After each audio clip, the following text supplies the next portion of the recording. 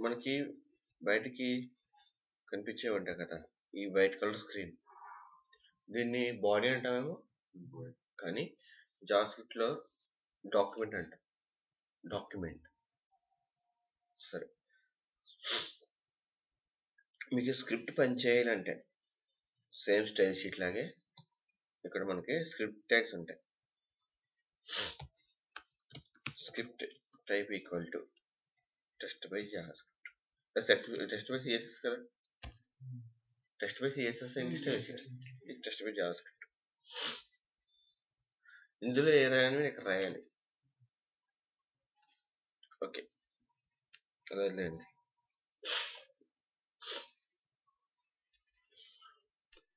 input type equal to text id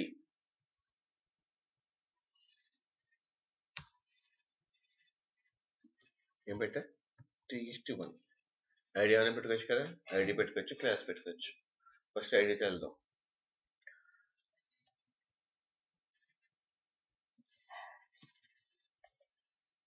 so ఇలా ఉంది నేను ఇప్పుడు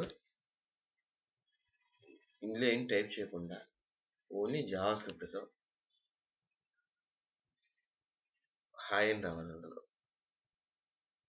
అంటే ఓపెన్ చేయగానే హాయ్ ఉండాలి. కానీ అది మీరు రాసి ఉండకూడదు అక్కడ వాల్యూలో. ఇందులో వాల్యూలో అయితే హాయ్ వస్తుంది కదా! అలా ఉండకూడదు. అయితే ఇప్పుడు నువ్వు వెళ్ళి క్లాస్ అయిపోయిన తర్వాత అలా కూర్చోన్నాను అంటే తిరిగి ఒక పని చెప్పాను. ఎప్పుడైతే క్లాస్ అయిన తర్వాత. సో అదొక ఈవెంట్. ఎప్పుడు ఫైర్ అవ్వాలి? క్రాష్ అయిన తర్వాత ఫైర్ అయిన అలాగే కూర్చోాలి అక్కడ సో ఆ పొజిషన్ ఈవెంట్స్ అంటాం నేను ఏమంటున్నా ఇప్పుడు ఎప్పుడు రావాలండి పేజ్ లోడ్ అవ్వగానే అంటే పేజ్ రీలోడ్ అయిపోతుంది కదా రైట్ క్లిక్ కొట్టి రీలోడ్ కొట్టగానే హాయ్ ఇచ్చేది ఇక్కడ అంటే డాక్యుమెంట్ అంతా ఇవ్వాలి లోడ్ అయిపోద్ది లోడ్ అవ్వగానే రావాలి సో మీరు ఇక్కడ బాడీకి ఆన్ లోడ్ అనే ఈవెంట్ ఉంటుంది ఉందా? ఇక్కడ. ఆన్ లోడ్ చేయవలసిన పని ఏంటి? హాయ్ అని ప్రింట్ అవ్వాలి కదా? ఇప్పుడు చేయవలసిన పని తిన. తిన బదులు నువ్వు ఉండొచ్చు నువ్వు ఉండొచ్చు అంటే ఒక ఫంక్షన్ ఒక పేరు దాని ఫంక్షన్ అంటాం. దాని ఫంక్షన్ అంటాం. ఏమంటాం? ఫంక్షన్ అంటే ఆ ఫ ఆ వ్యక్తికి ఒక పని అప్పు చెప్తున్నాం. ఆ ఫంక్షన్ ఒక పని అప్పు చెప్తాం. ఆ ఫంక్షన్ పేరు ఏవైనా అయి ఉండొచ్చు సంథింగ్ డూ సమ్ వర్క్ అని ఇలా పెట్టి ఇలా పెట్టా. ఈ బ్రాకెట్ల వల్ల అర్థమైంది అంటే ఇది ఒక ఫంక్షన్ అని అర్థం. అంటే దీనికి కొద్దిగా పని అప్పు చెప్తున్నాము డూ సమ్ వర్క్ బదులు మీ పేరు పెట్టుకోవచ్చు. ప్రాబ్లం లేదు. కానీ దానికి ఇది బ్రాకెట్లు పెడితే అర్థం ఏంటి? ఫంక్షన్ ఇప్పుడు ఈ ఫంక్షన్ ఇక్కడ రాసినట్టు మనం ఇక్కడ రాయాలి కదా. So function do some work అదేనా సిఎస్ఎస్ రాస్తున్నాం రాస్తున్నాం ఇక్కడ అంటే అక్కడ డాట్ పెట్టి రాస్తాం. డాట్ పెట్టి రాస్తే ఫంక్షన్తో రాస్తాం. ఇంకా అర్థమైంది మీకు?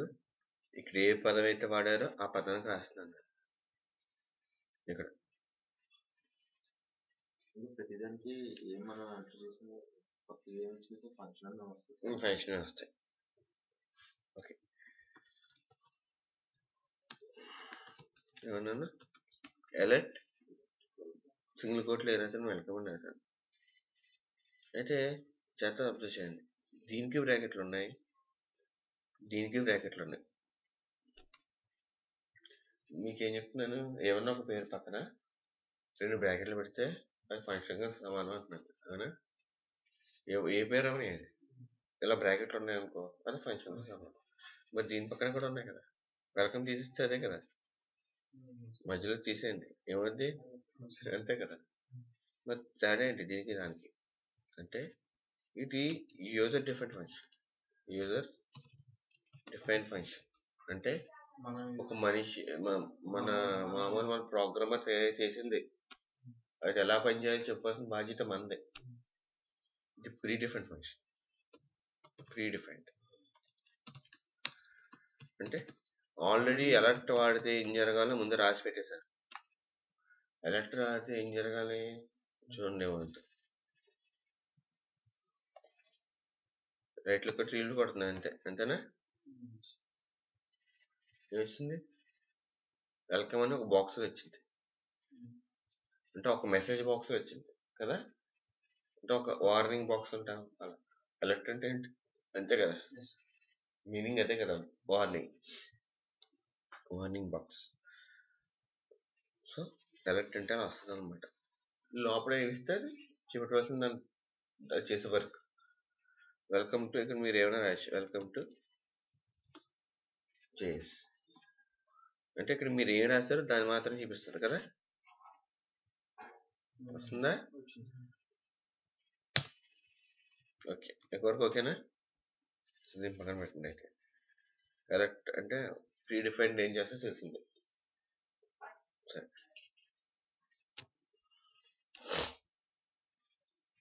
మీకు ఐడి అనేది రిపీట్ అవుతుంది అని చెప్పానా? లేకపోతే చెప్పానా?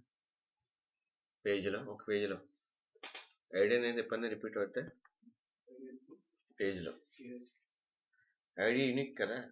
ఒక్కసారి ఒక దానికి పెడితే ఐడి ఒక విధంగా వాడకూడదని చెప్పాను కదా. క్లాస్ అయితే రిపీట్ చేసుకోవచ్చు. ఐడి రిపీట్ చేయకూడదని చెప్పాను కదా. సో డాక్యుమెంట్ అంటే డాక్యుమెంట్ అంటే ఇదంతా. ఇక్కడ మనకి ఎన్ని వస్తువులు ఉన్నాయి ఇప్పుడు? కళ్ళకి కనబడేది ఒకటే ఉంది. దాని ఇదేనా? ఇంకేం లేవు. సో వీటిలో ఎలిమెంట్స్ అంటాం. ఇవన్నీ మనకి పేజీలో కనిపించే ప్రతిదాన్ని ఎలిమెంట్ అంటాం. ఓకే ఈ ఎలిమెంట్ యొక్క ఐడి ఏంటి? టీఎస్టీ వన్ అని పెట్టా. ఇక్కడ. కదా? So document dot get element by ID TST one అదైనా అంటే దానికి తీసురా. చెప్తాను. అదైనా చెప్తాను. డాక్యుమెంట్లో ఉన్నా. డాక్యుమెంట్లో ఉన్నా అంటే ఇదంతా. ఇదంతా డాక్యుమెంటే ఉన్నా. డాక్యుమెంట్లోకి వెళ్ళి. వెళ్ళి అంటే వెళ్ళి అన్నది పీరియడ్ గెట్ అయితే తీసురా. ఎలిమెంట్ ఎలిమెంట్ తీసురా. దేన్ని బట్టి? బై ఐడి ఐడి ఏంటి? టీఎస్టీ వన్ దానికి వాల్యూ అని రాత్రం గుర్తుంది ఇక్కడ? ఆ వాల్యూలో ఏం పెట్టాలి?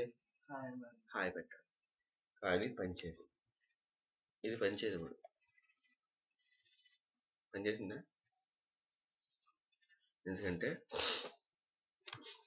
యూజ్ ప్రీ డిఫరెంట్ ఫంక్షన్స్ ఎప్పుడు చెప్పాలంటే మీరు బాగా గమనిస్తే ఇది కూడా ఫంక్షన్ చూసారా? ఇదంతా ఫంక్షన్ బ్రాకెట్లు ఉన్నాయి సింగిల్ కదా? ఎలక్ట్ లాగా ఉన్నది చూడండి. అయితే ప్రీ డిఫరెంట్ ఫంక్షన్స్ ఇప్పుడు కూడా జావా ఒక రూల్ అది. అంటే ఇది జావా స్క్రిప్ట్ జావా నుంచి వచ్చింది.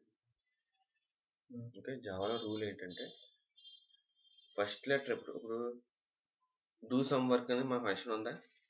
అదే జావా స్క్రిప్ట్ ఫంక్షన్ అనుకుందాం. ప్రీ డిఫైన్ అనుకుందాం అది. డ్యూ ఫస్ట్ పదం ఎప్పుడు? స్మాల్గా ఉంటుంది. నెక్స్ట్ పదం ఎప్పుడు? క్యాపిటల్తో స్టార్ట్ అవుతుంది అంటే ఎలాగా? అంటే ఇది ఎలా స్టార్ట్ అవ్వచ్చు? ఊహించుకుంటే. Do some work. చూసారా? ఎలా స్టార్ట్ అయిందా? డూ స్మాలే ఎస్ క్యాపిటల్. వచ్చింది. మళ్ళీ వర్క్? క్యాపిటల్ వచ్చింది. అంటే ఇక్కడ మూడు పదాలు ఉన్నాయి. ఇలా అంటే ఇప్పుడు ఇది ఎలా అవుద్ది చెప్పండి నాకు. గెట్ కదా? ఈ క్యాపిటల్ ఉంటుంది ఎలిమెంట్. బై బి క్యాపిటల్ ఉంటుంది.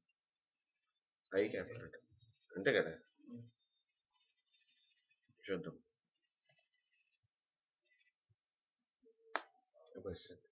అంటే దానికి అర్థం అవ్వలేదు. Pure case sensitive.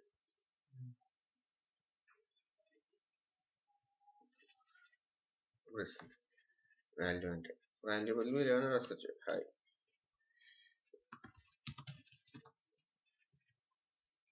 Welcome to JS వస్తుందా ఇందులో ఏమైనా డౌట్ ఉందా మీకు మనకి యూజర్ డిఫైన్ ఫంక్షన్ అది దాన్ని ఏం చేసి ఇది ఇదా ఇదా కామెంట్స్ అంటారు మనం సిఎస్ఎస్. సిఎస్ఎస్లో రాసుకుంటాం కదా అలాగే ఇందులో ఇలా పెడితే కామెంట్స్ అందులో ఎలా పెడతాం మనం? ఇందులో ఇలా కూడా ఉంటది. మీరు అన్నట్టు. ఇలా కూడా ఉంటది. ఇది ఎక్కువ లైన్స్ ఉంటాయి ఆ, ఒక లైన్ ఉంటే ఇందులో ఇలా పెట్టేసుకోవచ్చు. ఇది ఒక లైనే కదా? ఇది ఒక లైనే కదా? అందుకే ఇలా పెట్టేస్తాం ఓకే. ఇప్పుడు ఇదే ఫంక్షన్ ఆన్వర్డ్లో కాదు తీసేసాను. తీసేసాను. ఫంక్షన్ అయితే ఉంది ఇక్కడ. కానీ దాన్ని ఎక్కడ వాడుకుంటలే. ఎక్కడ వాడానా? ఎక్కడా లేదు. రాదు అది. వాళ్ళే కదా ఎక్కడ? తీసాను ఎప్పుడు వాడేది? లోడ్ అవగానే పిలిచేసేది. అది. ఇప్పుడు లోడ్ అవగానే తీసాను ఇక్కడ. ఉందా? సో దాన్ని ఏం చేస్తానంటే input type equal to button. Value. ఏమంటే? క్లిక్ అది పేస్ట్ చేస్తా. దాన్ని కట్ చేసింది. అయితే దీనికి బటన్ ఆన్లోడ్ ఉండదు. బటన్ ఏముంటుందంటే ఆన్ క్లిక్ అని ఉంటుంది. బటన్ మీద క్లిక్ చేస్తారు కదా? క్లిక్ చేస్తే ఏం జరగాలట? డూ సంపర్ మనం ముందుదే. కానీ ఎప్పుడు జరగాలి? లోడ్ అవ్వగానే కాదు. క్లిక్ చేసి క్లిక్ చేసినప్పుడు జరగాలి. సో దీంట్లో క్లిక్ చేస్తే కాదు. ఏమి క్లిక్ చేయాలి వస్తుందా? అంటే ఆ పని ఎప్పుడు జరగాలో చెప్తున్నాం. లోడ్ జరగాల? క్లిక్ చేస్తే జరగాల? సో ఏం చేస్తే జరగాలి? వరకు ఓకేనా?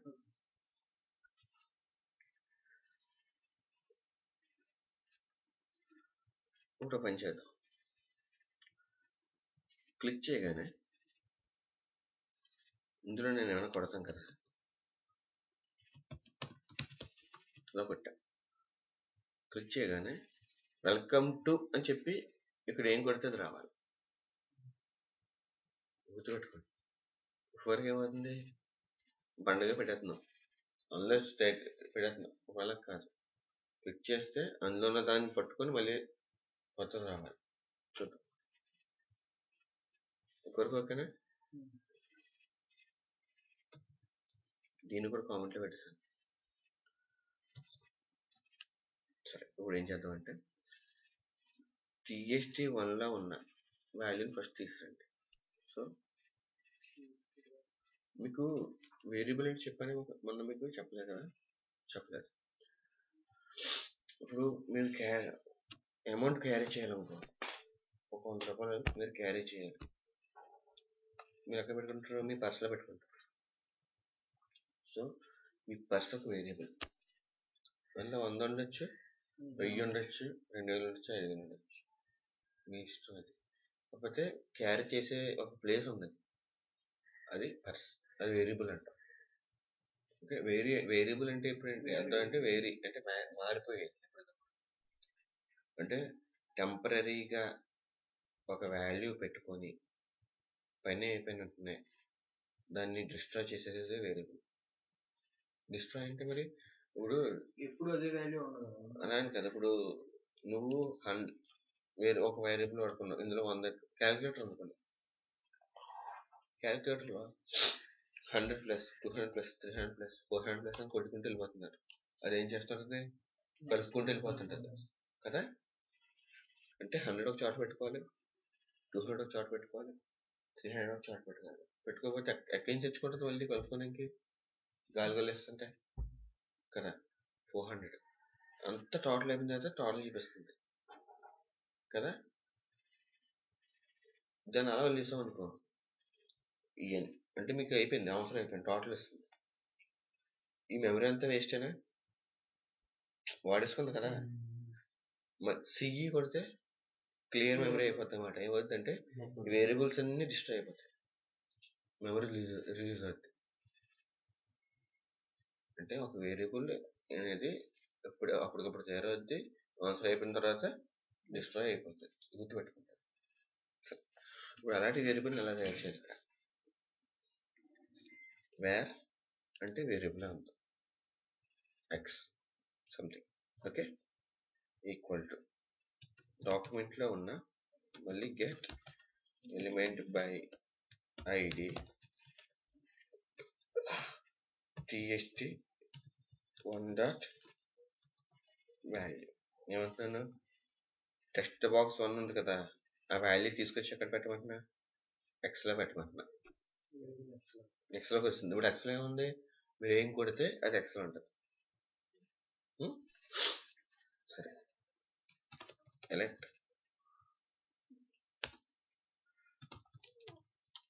ఏమన్నా ప్లస్ ఎక్స్ అన్నాను ఏమవుతుంది చూద్దాం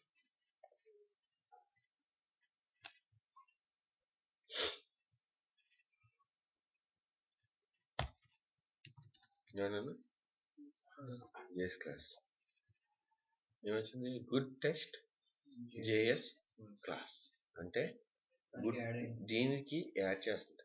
గుడ్ టెస్ట్ అనేది. కదా? ఇప్పుడు ఎక్స్లాగ్ ఏముంది? JS జేఎస్ క్లాస్ ఉంది రెండు పేర్లు కలిపేది ఏంటంటే ప్లస్ అన్నమాట.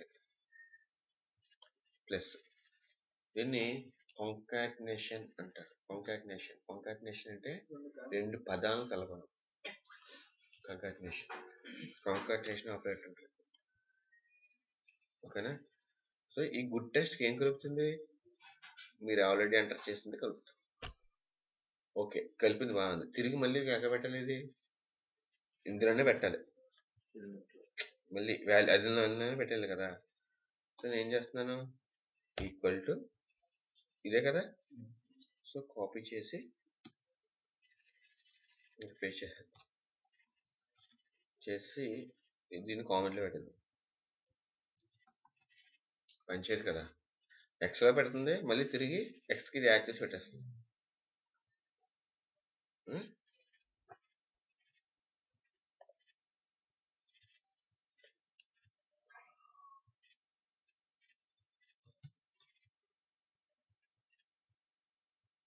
ఏమొచ్చింది అంటే దీన్ని తీసుకెళ్ళింది ఫస్ట్ తీసుకెళ్ళి ఇది కూడా యాడ్ చేసుకొని మళ్ళీ తీసుకొచ్చి పెట్టండి. తీసుకెళ్ళడం అంటే దాన్ని తీసుకెళ్ళడం అంటే ఇది. యాడ్ చేయడం అంటే ఇది. తీసుకొచ్చి ఇందులో డమ్ము చేస్తుంది మళ్ళీ. అర్థమవుతుందా? కంప్లీట్ పడితే